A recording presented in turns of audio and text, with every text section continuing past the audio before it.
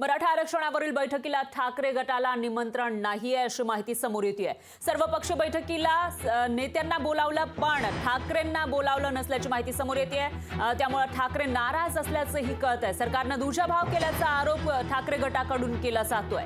मुख्यमंत्र्यांनी सर्व पक्ष आमदारांची बैठक बोलावली तर शिंदेंनी बोलावलेल्या या बैठकीला ठाकरेंना मात्र निमंत्रण नाही.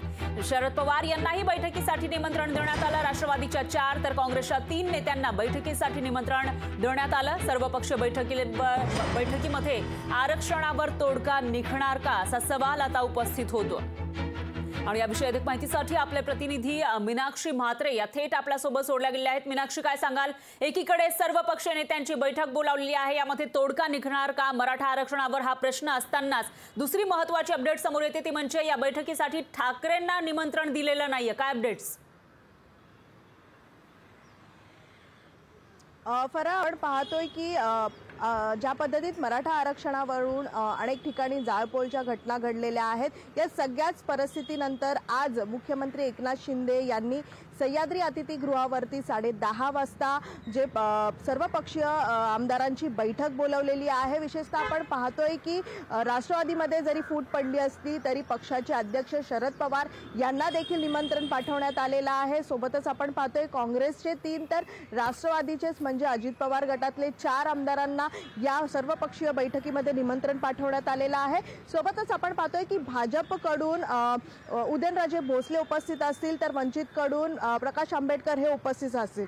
उद्धव ठाकरे गटाकडे आपण जर पाहिलं तर एकच आमदार म्हणजे सर्व विरोधी पक्ष नेते अंबादास दानवे यांनाच निमंत्रण आहे. तर उद्धव ठाकरे यांना निमंत्रण पाठवण्यात आलेलं नाही आहे त्यामुळे कुठेतरी उद्धव ठाकरे नाराज असल्याचं देखील कळतंय. मात्र एकीकडे ह्या सगळ्याच पार्श्वभूमीवरती आज सर्वपक्षीय नेत्यांची बैठक जी पार पडणार आहे या बैठकीमध्ये मराठा आरक्षणासंदर्भात अतिशय महत्त्वपूर्ण निर्णय देखील घेण्यात येणार आहे. कारण याआधी आपण जर पाहिलं तर निवृत्त न्यायाधीश संदीप शिंदे यांनी जो प्रथमच अहवाल जो सादर केला होता हा सुरुवातीला बैठकीमध्ये सर्वपक्षीय नेत्यांच्या समोर हा अहवाल मांडण्यात येईल याबाबतची माहिती देण्यात येईल आणि त्यानंतर सर्वपक्षीय नेत्यांकडून मंत्र्यांकडून याबाबतचे त्यांचे म्हणणं ऐकले जातील आणि त्यानंतर निर्णय जो आहे तो अंतिम निर्णय जो आहे तो यावरती घेण्यात येणार आहे. सध्या आपण पाहिलं तर साडे दहा वाजता ही बैठक जी आहे सह्याद्री अतिथीगृहावरती पार पडेल आणि त्यानंतर या सगळ्याच सर्वपक्षीय आमदारांकडून त्यांच्या त्यांच्या याबाबत याबाबतच्या काय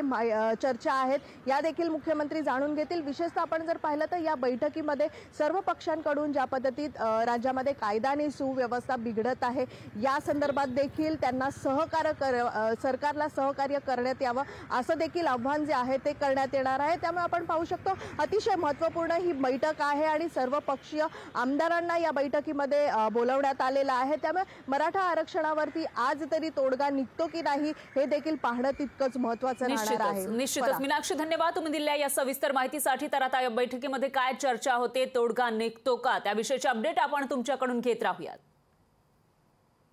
तर आताची ही सगळ्यात मोठी आणि महत्वाची बातमी म्हणावी लागेल राज्यभरामध्ये तीव्र आंदोलन केलं जात आहे मराठ्यांना आरक्षण द्यावं या मागणीसाठी. आणि त्याच पार्श्वभूमीवर काही ठिकाणी जाळपोळीच्या घटना घडल्याचंही पाहायला मिळत आहे दरम्यान इंटरनेट सेवा जालन्यामध्ये बंद करण्यात आलेली आहे.